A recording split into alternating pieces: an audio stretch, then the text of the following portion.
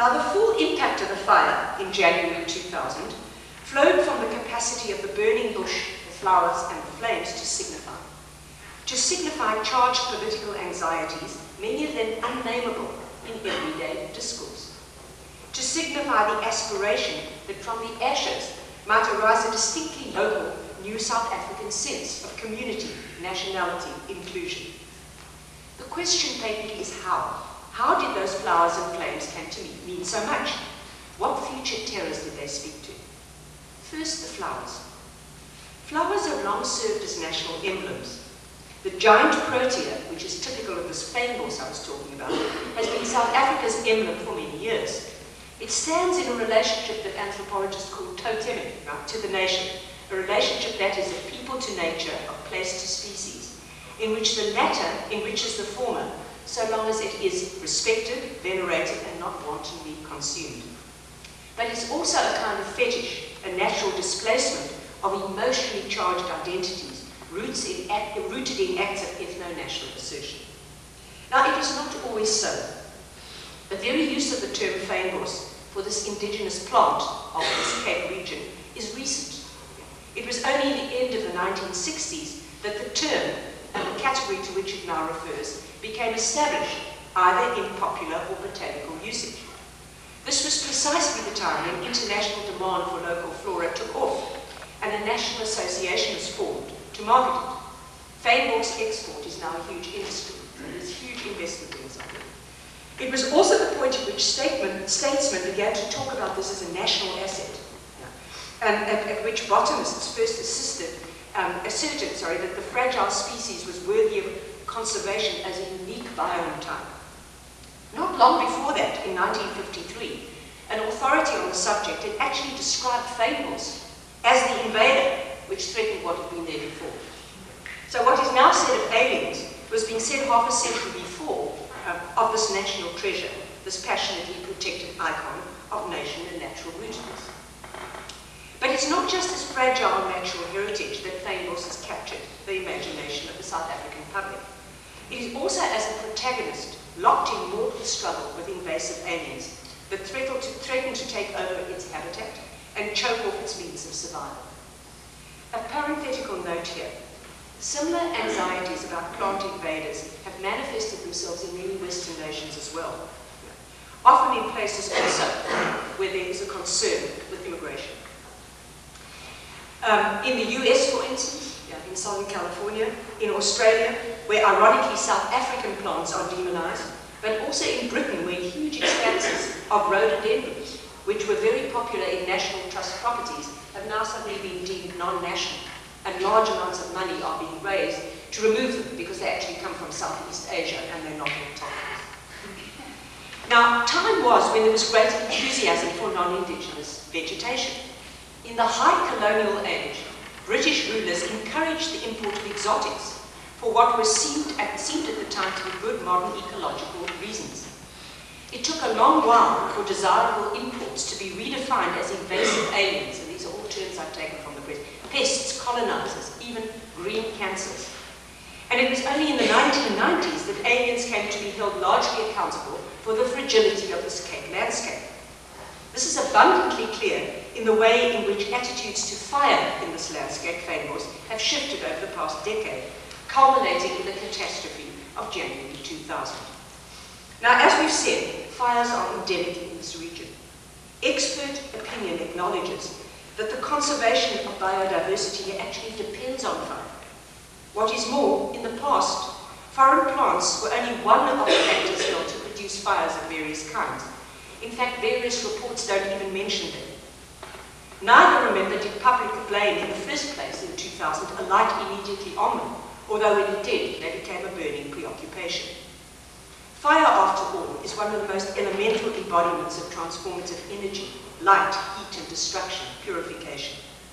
Fire often smoulders in the colonial memory as a kind of brute means of violence and conflict available as much to the powerless and the powerful. And there is a huge preoccupation with the danger of fire uh, in the South African imagination. But what has this to do with aliens? Until the fall of apartheid, the term alien had archaic connotations in South Africa. being enshrined in laws aimed at barring Jewish entry in the 1930s. These laws remained in place until amended in the mid-1990s, when immigrants became a fraught issue in a society seething with a surplus of unemployed people. It was at the same time that foreign plants became both a subject of ecological emergency and an object of national renewal. The most striking symptom of this was the Working for Water program, launched in 1995. Part of the National Post-Apartheid Reconstruction and Development Plan, the scheme was a flagship project to create jobs and combat poor poverty, and it centered on routing alien vegetation. Unemployed women, youth, and ex-offenders, even the homeless, would be rehabilitated by joining these eradication teams. People rounded up on the streets to go out and rout the alien in people's gardens and so on. Alien nation, nature, in other words, was to be the raw material of communal rebirth. Gave, gave further impetus to this process. As popular feeling focused on the foreign scourge, the state itself seemed intent on coaxing a spirit of community from the ashes. Ever more overt official connections were made between the war against these aliens and the prosperity of the nation. But the most portentous words of all were spoken by then President Mbeki, who had an international conference on this topic in the middle of all of this. Alien he said, stand in the way of the African Renaissance.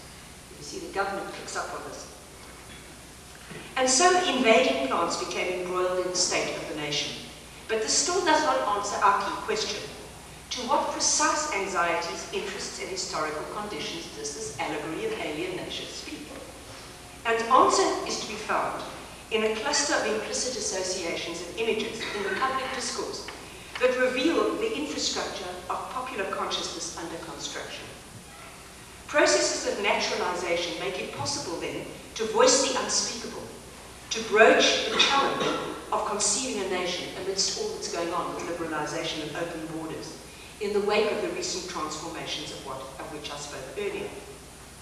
Take the satirical comment by a well-known South African journalist, and I quote, Doubtless there are gardening writers who would not think twice about sounding off in blissful praise about something as innocent as the jacaranda tree. But be careful. Behind those blossoms and splendid flowers, the jacaranda is nothing but a water-hogging, weed-spreading alien. Now, once the jacaranda had been described as South Africa's national tree, now in a bizarre drama in which plants signify what politics struggles to name, it's become an object of estrangement, even racialization. Some even spoke of ethnically cleansing the countryside. This in a land obsessed with constitutional rights and wrongs, with routing all vestiges of racism. But it was a wry letter from a West African scholar to a prominent national newspaper that made the political subtext most brutally plain. And I quote, Aha, he writes, it is alien bashing time again. As an alien, I'm particularly prickly about criticisms of other aliens, even if they're plants. But before the Department of Home Affairs investigates the residence permits of these plants, I, as a concerned fellow alien, wish to remind one and all that plants such as maize, soybean, and sunflower also originate outside the continent of Africa. These are the main staples of the continent.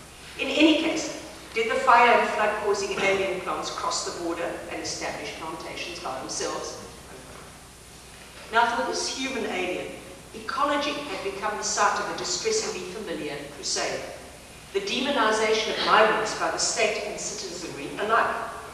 How long, we wondered, as we witnessed the rising temperature of this rhetoric in all the newspapers around us, how long before the metaphorical spark would leap the species barrier from the plants and ignite onto the human objects to which it had long been reaching?